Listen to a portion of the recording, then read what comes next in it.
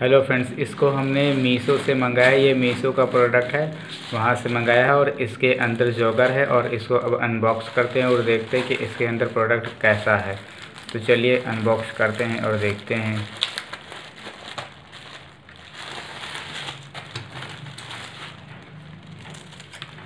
और एक बार फिर हम आपको बता दें कि इसके अंदर अंदर जॉगर है, जो कि जिसका प्राइस है one eighty nine rupees offer में मिला है वन एटी नाइन का, ऐसे ये टू एटी नाइन का था।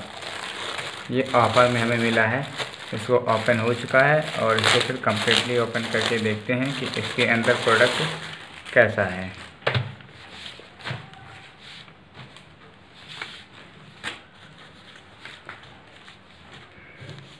तो ये है, आप इसे अच्छे से देख सकते हैं। और इसकी क्वालिटी भी आप थोड़ा सा पास लाते हैं कैमरा आप अच्छे से। देख सकते हैं।